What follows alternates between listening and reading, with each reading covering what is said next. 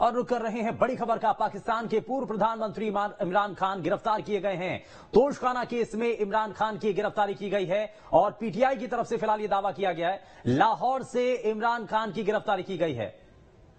और चलिए आगे बढ़ते हैं। भोपाल से बड़ी खबर का रुक कर रहे हैं, जहाँ एनएचएम सपोर्ट स्टाफ कर्मचारियों का प्रदर्शन देखने को मिला है। वित्त मंत्री जगदीश देवड़ा के घर पर कर्मचारी पहुँचे हैं। रोगी कल्याण समिति और आउटसोर्स के अधीन किए जाने का विरोध है और नियमित करने और सपोर्ट स्टाफ को आउटसोर्सिंग से हटाकर एनएचएम में वापस देने की मांग की जा रही है। स्वास्थ्य विभाग में आउटसोर्स प्रथा खत्म करने की ये मांग भी उठ रही है।